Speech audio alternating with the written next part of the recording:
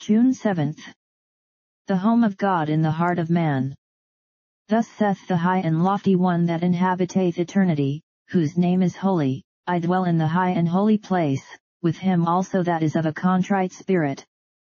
Isaiah 57:15. This verse has reference to God's two homes the macrocosm of the great universe and the microcosm of the human heart. Our God is so great that the heaven of heavens cannot contain him, but he is so lowly and humble that he will stoop to fill the heart of a child.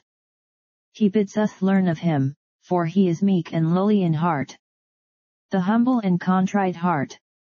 It seems almost too wonderful to believe that the Eternal One will care to come and live with the child of time, that the infinite and holy God will descend to the narrow limits of a human heart. See John 14:23. Prayer.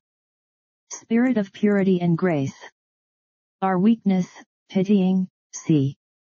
O make our hearts thy dwelling place. And worthier thee. Amen.